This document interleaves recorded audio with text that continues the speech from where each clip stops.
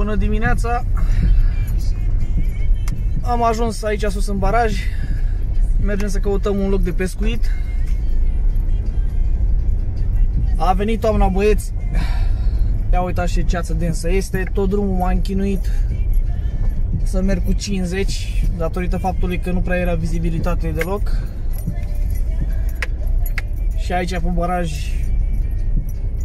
este cam la fel. Numai bine că am timp să mă instalez. Ia uitați ce găsim pe aici lăsate de dragii noștri colegi. Și ce observăm aici că dacă nu mă înșel, acolo este gheață în sticlă. Hmm. Poate nu se vede, nu prea văd eu bine așa.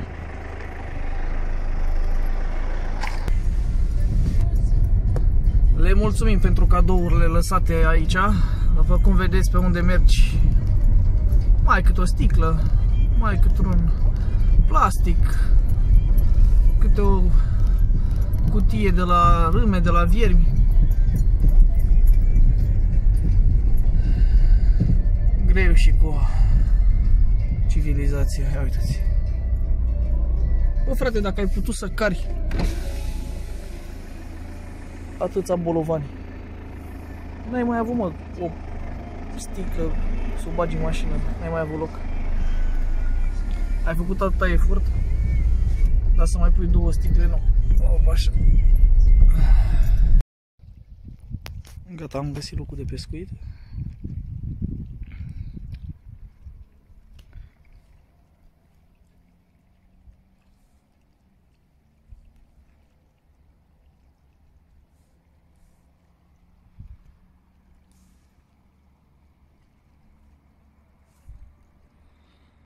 Acum să ne și instalăm. Deci în această dimineață vom adopta strategia de pescuit în felul următor. Momitor, ac jos, un momitor, ac sus deasupra. Am niște cârlige mai mari aici. Sunt de 8.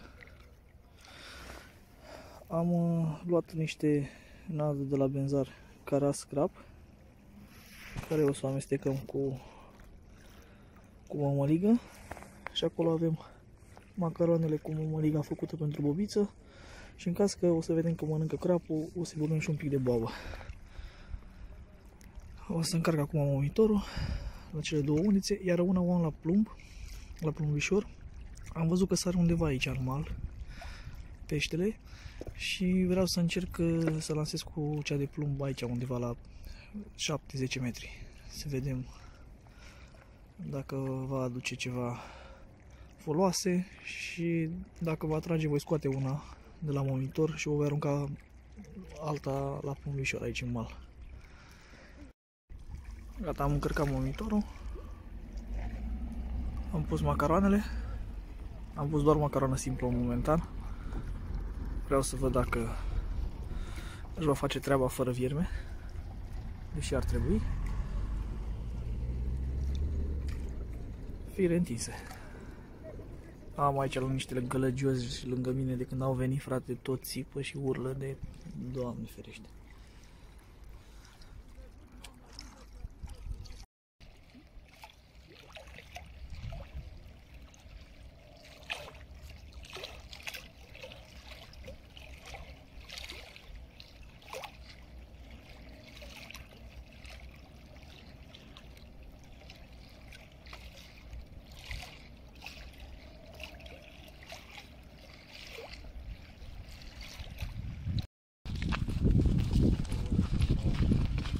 Oh, oh, dar scăpă ca lumea.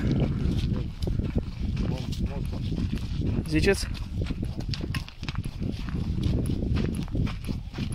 Nu, nu face friță sau... Da.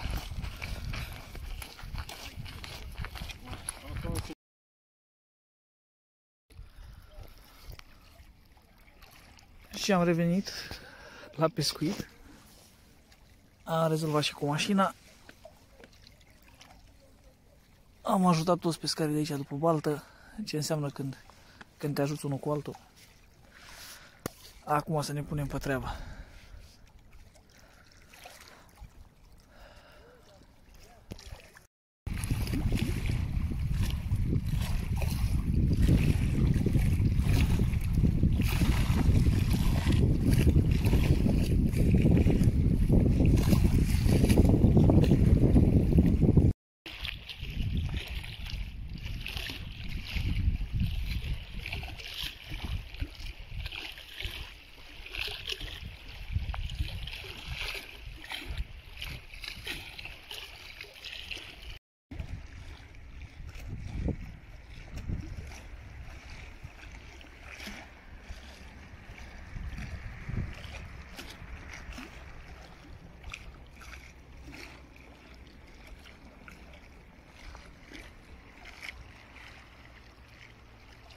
Nici acolo activitate, nici acolo, nici acolo.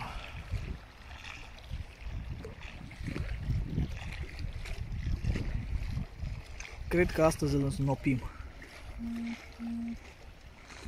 Ia uitați. Și în stânga mea se prinde pe rupte.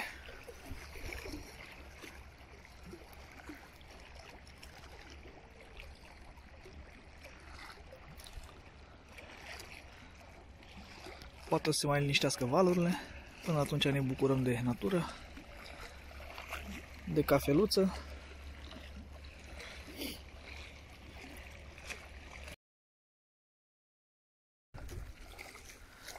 Să ne ducem să-i dăm drumul, că e prea micuț și prea frumos.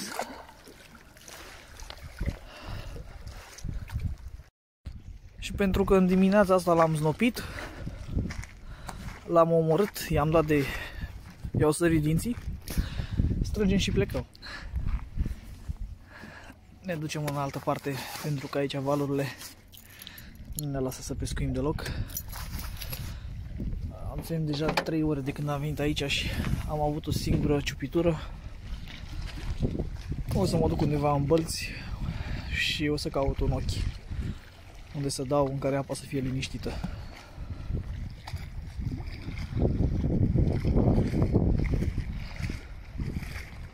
Nuntă mare, pește puțin. Gate, undeva acolo în spate,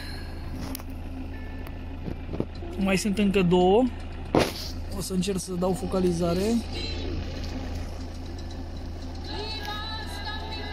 Acolo este. Și se vede undeva și mai în față. Să văd alte două. Deci clar este plasă băgată. Haideți să vă arăt setcile băgate în baraj.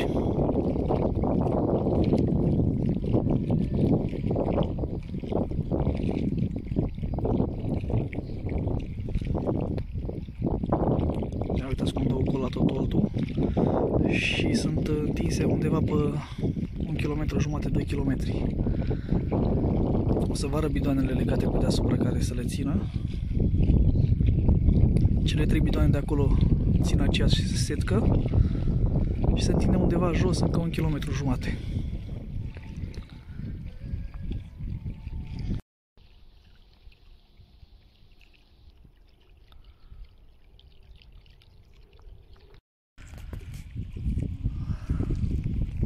Am sunat la poliție la 112, mi-au făcut legătura cu poliția din Drăgoiești, care m-a sunat și mi-a spus că o să vină la fața locului aici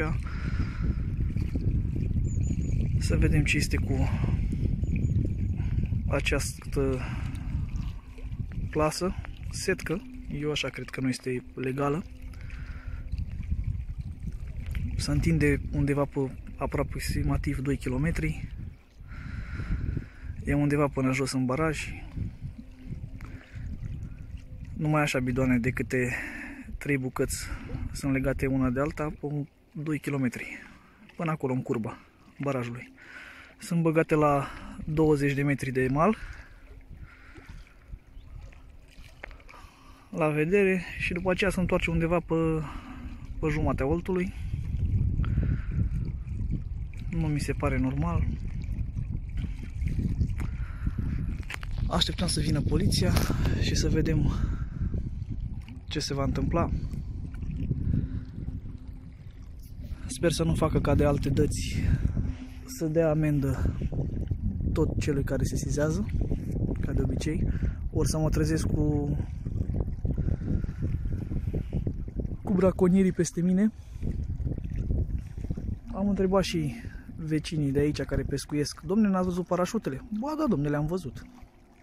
Parașutele, setca, plasa. Ba da, domne, le-am văzut. Și zic, ați prins vreun pește până acum? Zice, de când am venit un caras. Și acum este ora și acum este ora aproximativ 10. Deci dacă vii de la 6 jumate pe, pe baltă să pescuiești și prinzi decât un caras, dar te uiți cum plasa, setca, stă în apă și nu faci nimica, nici să nu te mire că stai și cheltui bani degeaba să vii la pescuit, plătești permise și stai în mizerie și pe deasupra ți se mai bagă și, și plasă în fața ta. Cel puțin și dacă plasa aici ar fi legală, tot nu este legal pusă, că e undeva în 20 de metri în fața tuturor pescarilor, n-ai nicio șansă să prinzi niciun pește. Ce să facă peștele? Să sape tunel pe sub plasă? Acum o să vedem. Eu mi-am făcut datoria de om, de pescar.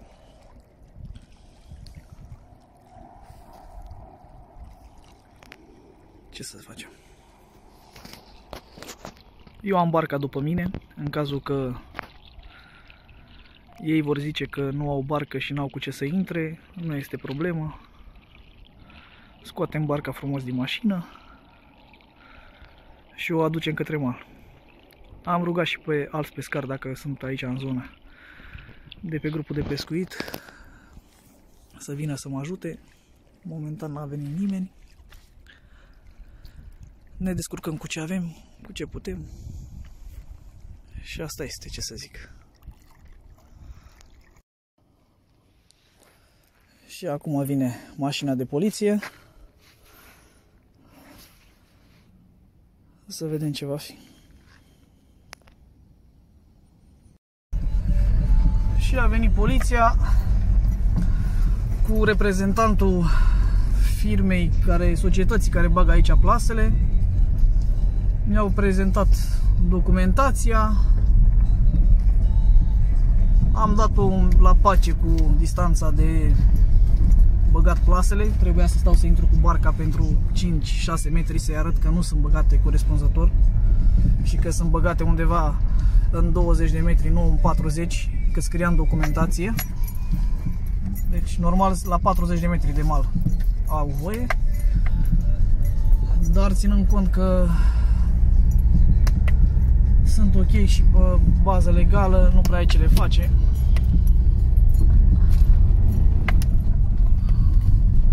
Se pare că se vor concesiona și barajul de la Dăiești la anul, din ce îmi spunea băiatul care se ocupă aici cu paza plaselor și cu băgarea lor și Dăieștiul se va concesiona de la anul, barajul de la Dăiești și cel de la Govora. Vor deveni tot baraje autorizate pentru pescuitul industrial. În spatele meu am mașina de poliție și băiatul. A, uitați -i. Eu o să mă duc în continuare către un alt loc de pescuit. Și asta este.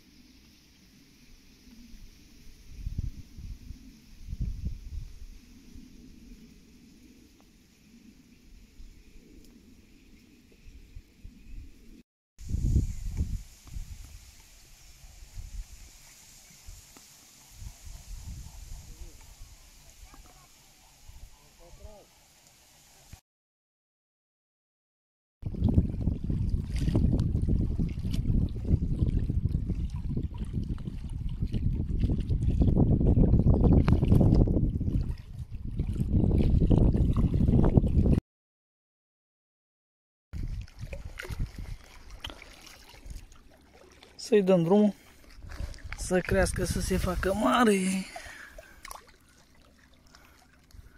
Fugi.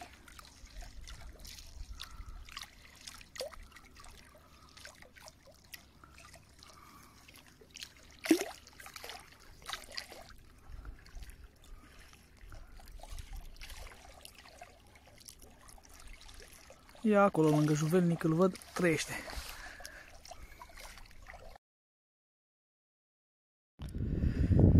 Și a venit un ciortănică mic.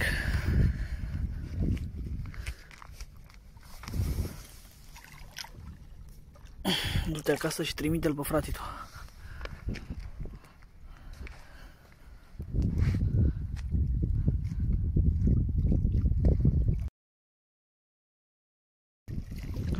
Să mergem să-i dăm și la ăsta micul drumul. I-a fost fomică săracul. O, așa. Ia vezi. Uite ce frumos a dus. Să crească mare. Cum v-am spus, măsura e mâna. Dacă e cât palma, luăm acasă. Peste palma. Dacă nu, joacă cu el înapoi în balcon.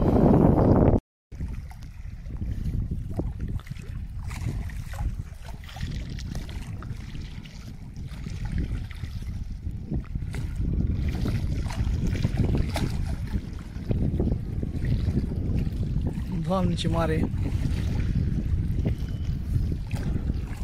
Mergem să luăm. Și țeapă că e luat la macaron. Am zis că e la râmă. Aveam acolo sus, aveam râmă pusă. Da, e bine și așa.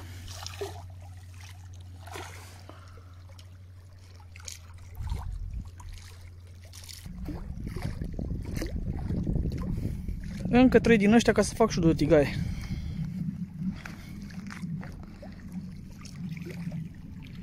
Una, două. Ale.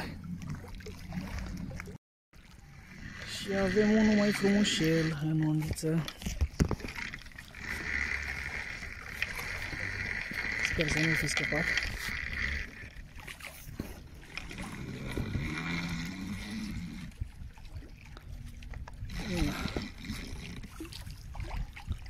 O palmă și un pic. După cum a tras de tare, am crezut că e ceva frumos, vreun caraz la kil.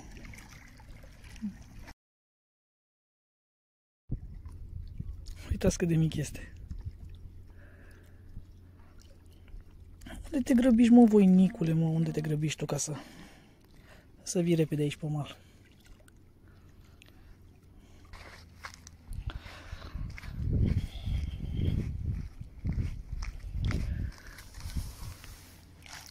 Du-te și fă mare. Hai.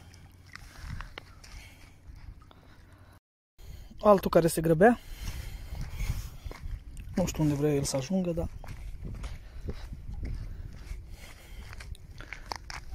Nu am tigaia așa mare pentru el.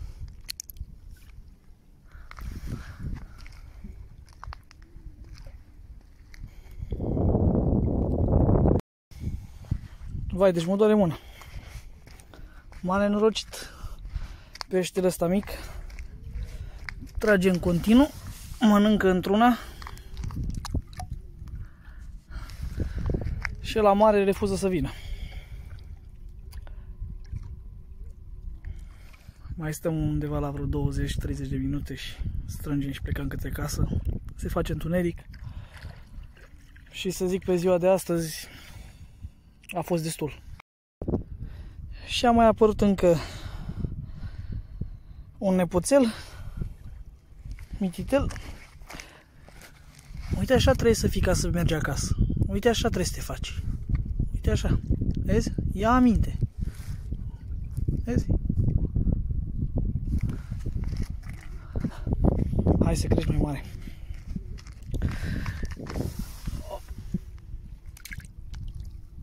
Și s-a dus.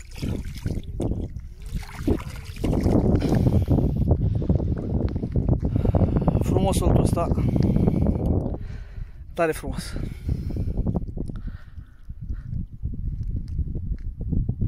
liniște, relax, natură, doar tu cu tine însuți. Așa îmi place de multe ori să pescuiesc. Când e liber și în stânga și în dreapta. Sau dacă pescuiesc între alți colegi pescari, măcar să fie liniște, să fie pace, să-mi pot auzi gândurile. Bine, nu chiar așa, mai și glumesc. Dar de obicei să fie liniște. Vii să te relaxezi.